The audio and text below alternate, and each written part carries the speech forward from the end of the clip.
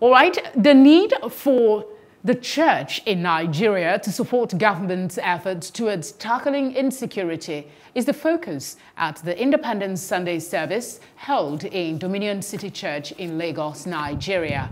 Plus TV Africa's Mary Chinda was at the church and reports. Only four, Only four days ago, October 1st, 2020, Nigeria turned 60. This feat has since generated mixed feelings amongst Nigerians as the country, which continues to be the poverty capital of the world, battles huge insecurity challenges, bad roads, fuel price hikes, epileptic power supply, and gross unemployment. Typically, a lot of hope seems to be lost. A country with at least 2 million, 200 million people. And at this point in time 60 years after 60 years we still have a lot of basic amenities not being there. The economy is shaking. A lot of people cannot afford it. The transportation and all that people are complaining but one church in Lagos, Nigeria, Dominion City, thinks differently, as it is dedicating this Sunday to special appreciation and prayer session for law enforcement agents and public servants across the country.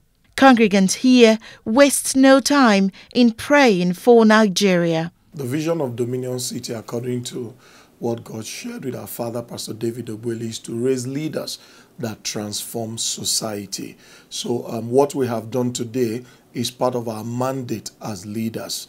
And then, um, in appreciating the security agencies, we are underscoring the fact that without peace, there can be no prosperity.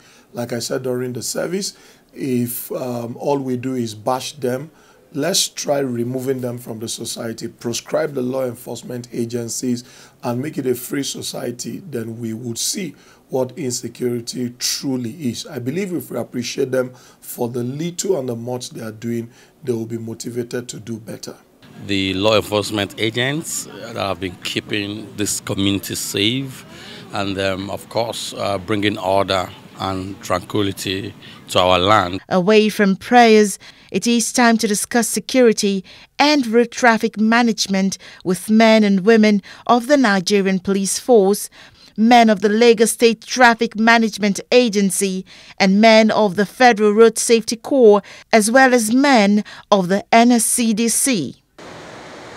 What are the things that you can do that will bring in that we feel secured in our own local environment.